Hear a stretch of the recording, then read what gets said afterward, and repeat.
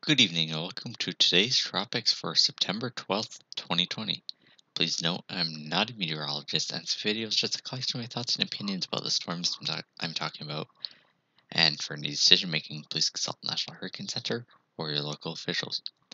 So, uh, the Atlantic is uh, getting quite busy uh, as, as you tend to see uh, during peak season, but uh, getting uh, really busy now. Uh, we have uh, four tropical cyclones uh, currently active and two areas uh, to watch, one of which I'm looking at. Uh, first off, here is Tropical Storm Sally, which is currently just entering the Gulf of Mexico. next up, I'll be looking at Tropical Storm Paulette, which is en route to Bermuda. next is Tropical Depression Rene, which isn't looking too well still. Uh, Tropical Depression 20, which is currently in the uh, Eastern Atlantic, uh, or Eastern Main Development Region, and finally uh, Invest 97L, which is uh, generally nearer over the Cabo Verde Islands. So let's ta- first take a look at Tropical Storm Sally. So uh, the convection does look a little impressive, but it it isn't super well organized right now. Uh, the low level center is a bit more than north per recon and some uh, observations from the satellite uh, this evening. So it is a little decoupled, and that's because of that northwesterly shear from an upper low to the north, and that is uh, ever so slightly shearing Sally. And so it, uh, that is hindering some organization right now. Uh, the main impact right uh, at this moment uh, there's some rain over Florida and uh, the Florida Keys, and uh, so there is a risk of flooding as it passes. If you look at the uh, other parts of the radar here to the west, looking pretty far up, given how far it is from the radar site.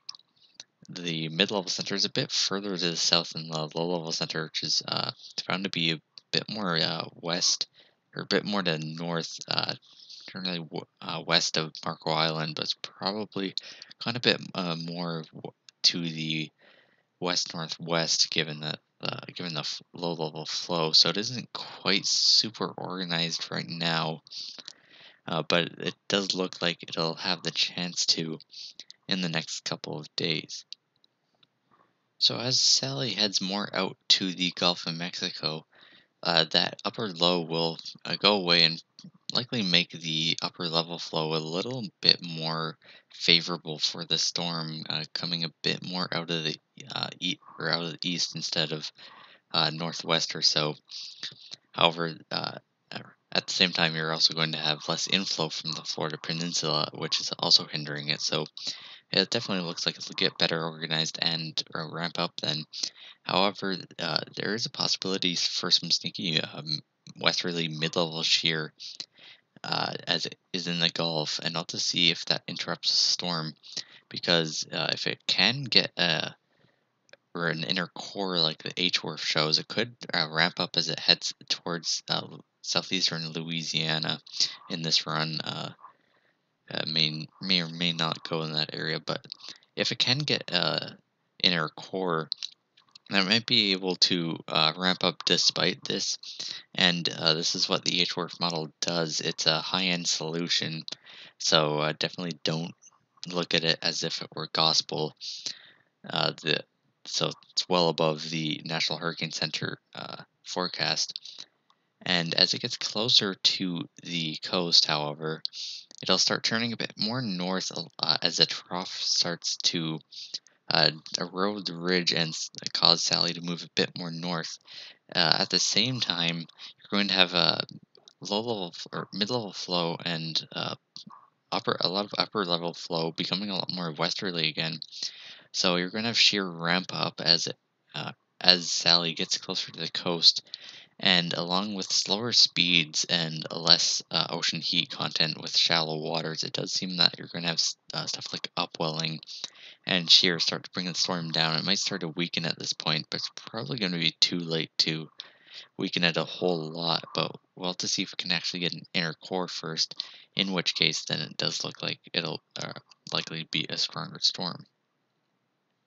As for track, there is a or uh, there is a middle or, or there is a trough trying to dig down to the southern United States, and what this is going to do is it's going to try to uh, erode the ridging that's steering uh, Sally to the west northwest, and that will mean uh, as it starts hitting that western edge that's been er- uh, eroding, it'll likely turn a bit more to the north towards the coast and at the same time it'll start slowing down so that that obviously uh, presents a few risks uh, looking at the national hurricane center uh, or official forecast.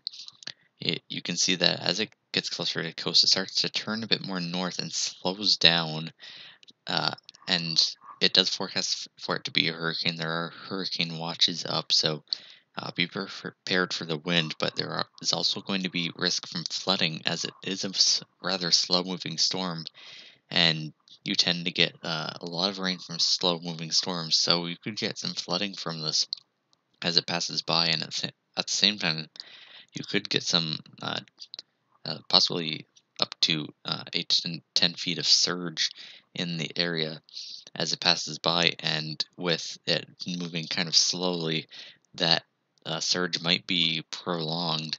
So definitely, uh, definitely a large flooding risk from flooding and or from rain and surge.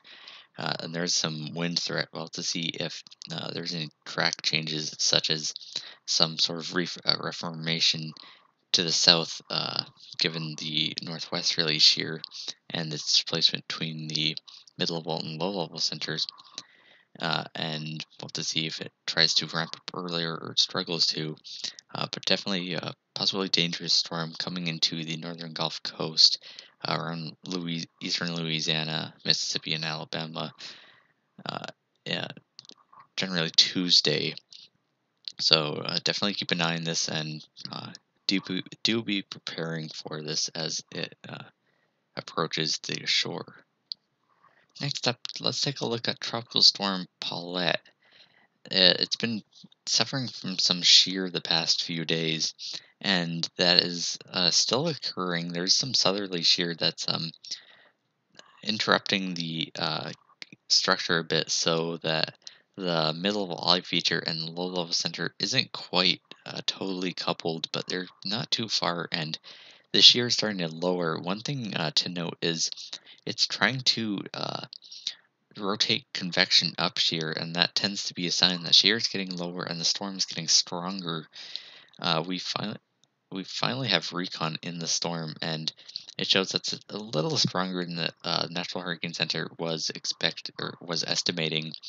Uh, instead, it's about five or six millibars lower in pressure, and uh, and or however, the wind isn't uh, a whole lot different. There are hurricane force uh, flight level winds, but there's lower uh, SFMR winds, which suggests that it's probably around uh, 60 knots, but on the cusp of hurricane status.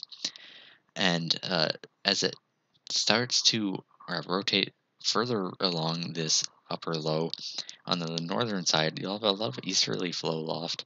And given that the cyclone is moving in generally similar direction to that. It's going uh, shear is going to be a lot lower, and this will be when uh, Paulette is most likely to start intensifying in earnest, and uh, could become uh, cl- close to a major hurricane uh, after it passes Bermuda. Uh, it does seem to be a major threat uh, for it on the official National Hurricane Center forecast for the storm. Uh, you can see Bermuda right here in the middle of the cone. There's a hurricane warning, and uh, be prepared for it. Uh, an expected uh, intensifying Category 2 hurricane, maybe even a little stronger than that if you have interest or are in this region.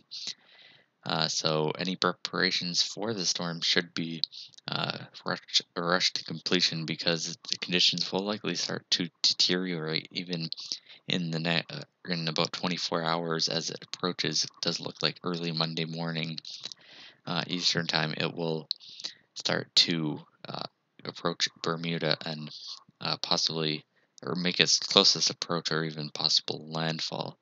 So uh, prepare for the worst. So uh, more intense system that, than expected, but prepare for the best or something a little weaker possibly, but again, do be or do be prepared for this storm as well.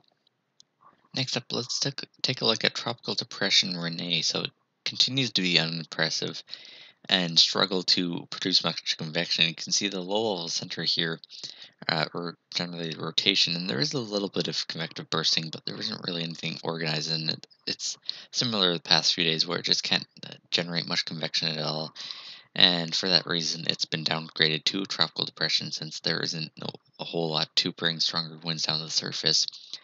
Now, its uh, window for intensification that's pretty much squandered is uh, pretty much gone now because you can see that there is that uh, northwesterly uh, wind aloft or loft uh, or more west northwest really, that is probably going to start shearing it pretty soon and that will uh, disallow pretty much any strengthening which isn't really expected anymore. Uh, so it doesn't seem that it'll really get much stronger. It'll probably still head northwest uh, looking at the official National Hurricane Center uh, forecast for the storm, it's likely to continue heading on its current uh, heading. However, uh, mid-level ridge building that is expected to uh, steer Paulette to the uh, north and eventually to the east with a uh, long wave trough. Rene will be caught on the other side of this and probably head more east to uh, or west to southwest, southwest. And given the shear, it's probably going to have a hard time maintaining much of any convection, and that means it may become a uh, remnant low. But given that the waters are generally warm there, it could remain tropical cyclone. But it doesn't really matter because there is really no threat to land. It should stay pretty far from land in the foreseeable future. So definitely uh, uh, no one other than shipping interests should be too worried about the storm, really, especially given that weak. Now let's take a look at Tropical Depression 20. So this one ju uh, just formed today. It managed to separate itself from uh, 90 or Invest 97L, and so it's been able to organize a bit. You can see the well-defined low-level circulation and some uh, convection that suggests some banding to the west of that. And so uh, it has organized enough and it, uh, it'll continue moving generally uh, west northwestward from here for a little while. And uh, you, one thing to note though right now is uh, if you didn't notice already, there is some easterly shear, and this is pretty normal for uh, active season or active hurricane seasons in this part of the basin, uh, just because tropical easterly jet. So it is a bit sheared now, but that should reduce and Tropical Depression 20 should get a bit stronger. Uh, you can see that it situates itself in a pretty favorable environment uh, early next week. It looks like, and that'll like allow it to strengthen in earnest. And uh, one piece of good news so far is uh, there's been a lot of trending offshore from many of the Caribbean islands here due to some troughing that is going to weaken the ridging over it or over 20, and that will allow it to turn a bit north. Uh, it is we are we are getting into mid-September, so it is harder to maintain uh, a lot of ridging over the uh, tropical Atlantic. So it's harder to get storms to actually impact land when they form this far east. So hopefully this trend continues, but uh, maybe just keep a wary eye in case something uh, really weird happens. But it definitely seems that things are trending a bit more, uh, not or a bit more towards uh, it curving out to sea. Looking at the national or official National Hurricane Center uh, forecast for Tropical Depression 20, it does indeed do this, uh, having it go generally north or west northwest until it starts feeling more troughiness and heading more to the northwest and heading north of the islands, well east of them. So hopefully, uh, or this looks like some good news uh, against what was uh, possible a few days ago, where um, impacts for the islands were possible, and uh, you can see that it does strengthen here with a favorable environment. So uh, it does look likely that uh, it will won't get too far or too close to them, but hopefully we do see this continue. Finally, let's take a look at Invest 97L. So it's another monsoonal type uh, system that could form into a tropical depression soon. Uh, it, you can see the some of the circulation or uh, beginnings of circulation that is here where you have the usual southwesterly winds uh, in the monsoonal zone and then some more uh, northeasterly winds that are part of the trade wind flow so uh, there, it is possible that a tropical depression might form here soon. Uh, luckily, probably not many, or probably no land impacts, except for right now we're having some scattered convection around the Cabo Verde Islands, causing some rain, uh, which could cause some flooding.